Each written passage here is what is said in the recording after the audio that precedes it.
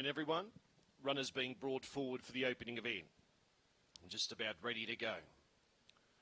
Field of six to open up the card here at Mount Gambier. Green light switched on, lure in motion. They're ready to jump here. Set for dispatch.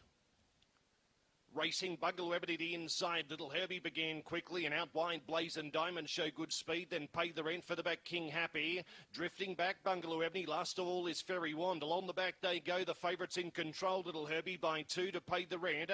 Going to third. King Happy who's charging up around the outside. Further back to Blazing Diamonds up to the bend. Uh, Little Herbie tackled by Pay the Rent on the outside. Pay the Rent too good. Uh, pay the Rent defeated Little Herbie. Third over the line will be out wide on the track. King Happy.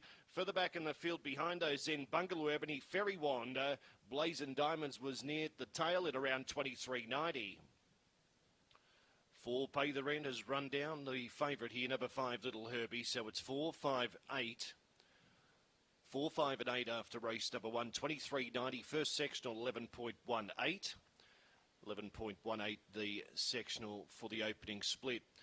So the numbers here, four, five, and eight. Four Pay the Rent, the winner trained by Captain Abbott, defeats five. Little Herbie, Lewis Green. Eight, King Happy, Edna Fennel. Officially fourth went to one, Bungalow Ebony, trained by John Little. Four, five, eight, one. Winner scored by three quarters of a length with one and a quarter between second and third. Three quarters by one and a quarter in 23.90. Wraps up race number one here on the card. The winner number four, Pay the Rent, a vinyl black dog by Aussie Infrared out of Olivia's Ruby, is trained by Captain Abbott for owner Kerry Hawker. Five second Little Herbie.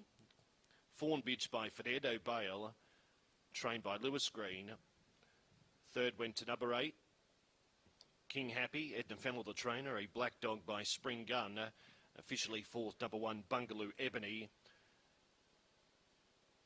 Uh, trained by John Little, Black Bitch by Pure Titanium. Tote dividends not too far away after race one.